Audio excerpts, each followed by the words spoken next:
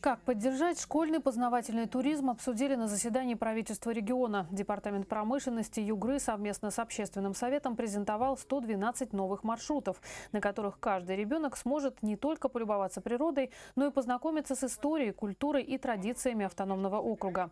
Экскурсионные маршруты охватывают практически всю Югру. Среди них три городища Белогорского княжества и на земле Обских угров в окружной столице, этнографический тур на стойбище Карамкинское, в Нижневартовском районе, тайны и загадки озера Светлого в Белоярском, горными тропами священного Урала в Березовском районе и другие.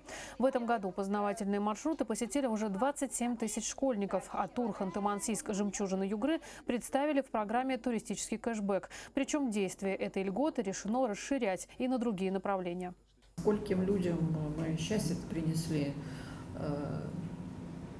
разработав такое количество маршрутов, организовав их и так далее и тому подобное. Оказалось, что если с точки зрения отношений молодых людей, детей и так далее, но тут надо иметь в виду, что э, у нас мощная организаторская система, есть куда идти дальше, и э, потенциал еще очень-очень высокий.